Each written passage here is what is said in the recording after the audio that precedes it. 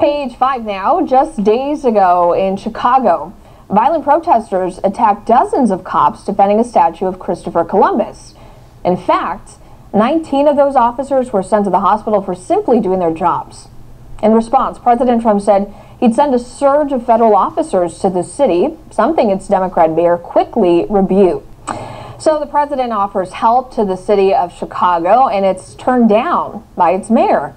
Her stance appearing to fall in line with the demands of the anti-police protesters causing chaos right outside her door, literally right outside. Joining me now, the founder of the American Truth Project and Daily Ledger contributor, Barry Nussbaum. Hi, Barry. So I can't help but think about the election implications that that are involved in this conversation. I mean, we've seen President Trump accuse the Democratic Party of, of blocking Bernie Sanders from getting his party's nomination, but now we're seeing Joe Biden adopt these radical leftist policies. He's running on these, even though a few months ago he was, you know, touting the fact that he was a moderate. So, what sort of impact is this going to have on voters in the fall?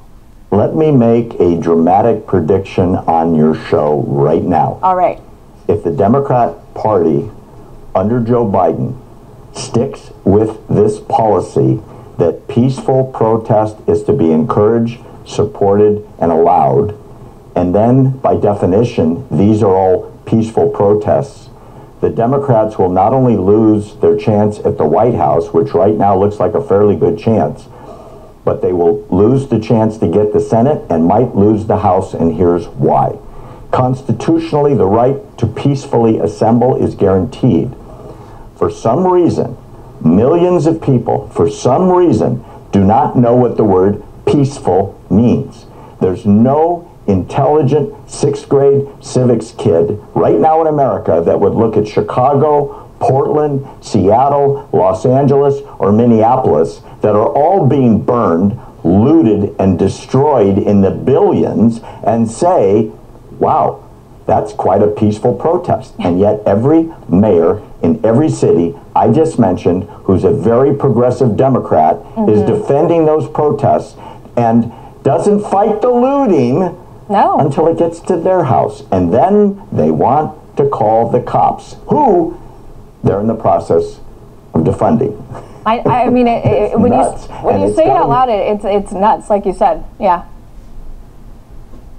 Yeah, and it's gonna it's gonna be a path for Trump to go back to the White House uh, in November if the Democrats stick to this as their uh, landmark policy decision, which is peaceful protest is great. Mm-hmm. We define looting and destruction and murder and brazen attacks on peaceful citizens as peaceful, ergo, keep out the federal troops. Middle America is not going to go for this. Right. Well, and the other thing that stands out, I mean, you, you see the Republican Party, if you've been watching things closely, like most of us have, the Republican Party has been consistently united around the same message, the same principles, the same ideals.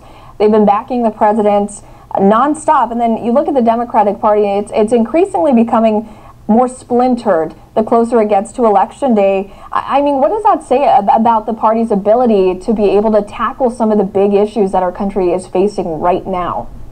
they they're painting themselves into a corner and now they're nailing themselves into that corner that they painted themselves into. Keith Ellison, the former congressman radical from Minnesota, who's now the attorney general uh, of Minnesota, came out and said, if you want to call and report a rape, the police should not respond if the rapist left. Hello? Did you hear what I just said? Yeah.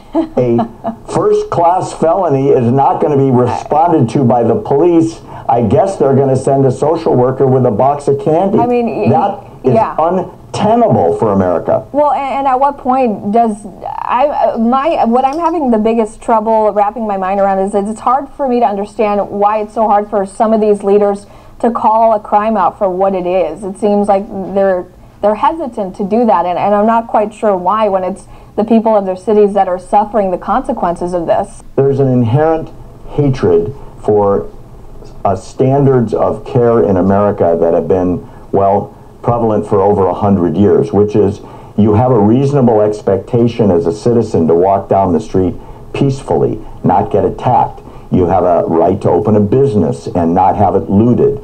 you have a right to drive around safely and not be shot at. Shot at. Look, the murder capital of America is Chicago, mm-hmm. where there are more people killed there every weekend than in all the combat troops uh, in situations around the world, and yet the mayor has the audacity to say everything's under control. She's lying. She knows it.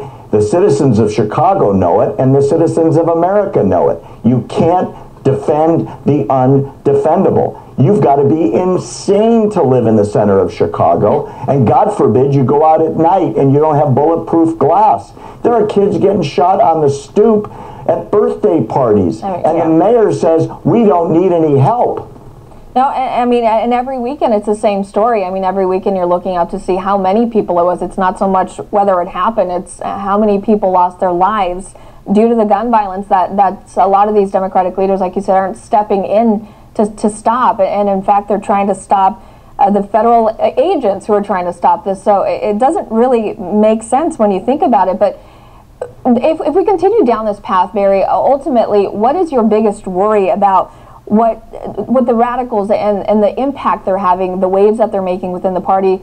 Are you worried about the, the bigger, the broader impacts this is going to have on our societies? Oh, my goodness, yes. You know, you go back in American history to like the Watts riots uh, in the 60s, uh, businesses didn't come back for decades. You're going to have flight of capital and flight of the tax base from every city in America where you have imbeciles, and I mean that word literally, running the asylum and thinking this is all okay. When Nancy Pelosi, as the Speaker of the House, third in line to be President of the United States, says at a press conference in regards to uh, people tearing down statues, well, that's how people protest. That's what people do. I don't need to respond to it. That is a license to loot and kill and maim and do whatever you want, and at the same time, let's defund the police. In other words, we're going to disempower the people that keep the peace. We're going to empower the people that are anarchists that want to destroy the American system. And if they get into power, control both houses in the White House, you will not recognize America in a year from now. It'll be a safety disaster. And that's, I mean, that's a scary picture you're painting. So uh, hopefully, uh, lawmakers and voters, so people are, are, listening and are willing to step up and, and do something about this uh, at at the ballot box this fall. Barry Nussbaum, thank you.